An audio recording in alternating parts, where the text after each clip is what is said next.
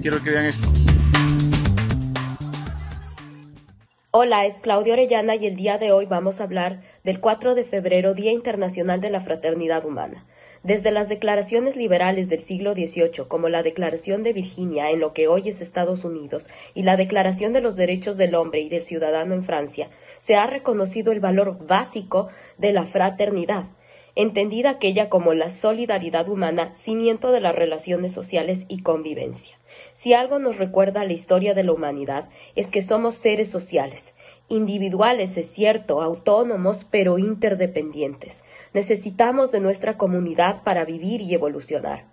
Sin embargo, la violencia en sus diversas manifestaciones demuestra la necesidad vital de educar y generar mayor conciencia sobre el pluralismo nacional, social, ideológico que promuevan relaciones de respeto.